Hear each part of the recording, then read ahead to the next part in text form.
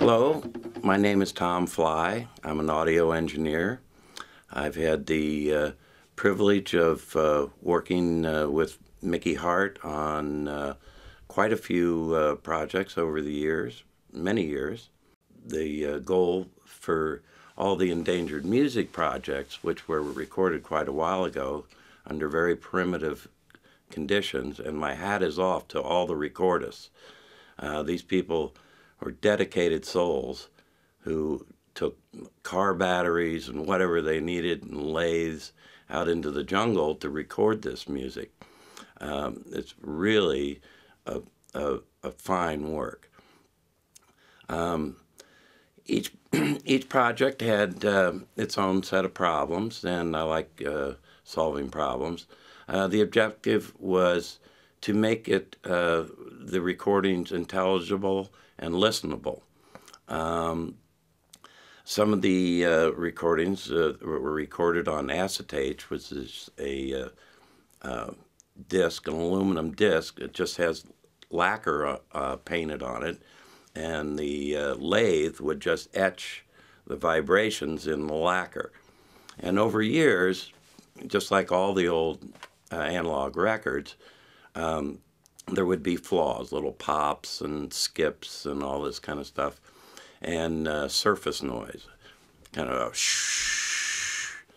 Uh, so the first step to uh, all these recordings was to um, get rid of all the contamination. Um, this means uh, filtering with uh, what we call EQs, which are just very fancy bass treble, treble knobs. Um, and you'd find in the spectrum where the noise was, and then you'd filter it out.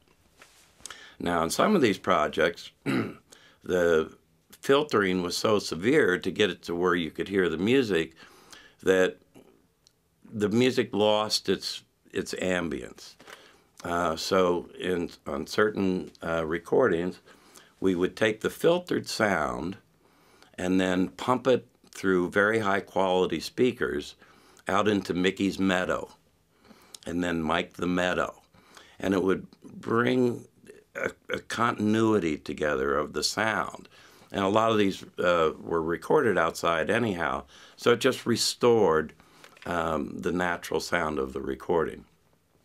In other instances, uh, when we got to the digital domain, um, if there was a skip in the record, we were able to go in with the Sonic Solutions and just take that little snippet of sound and pull a little sound from the right and a little sound from the left and kind of the computer would kind of imagine what was in between there.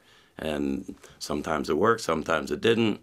Uh, sometimes you just had to back off how much you were doing. Um, but that was a way to get rid of the clicks and pops and static noise on the disc.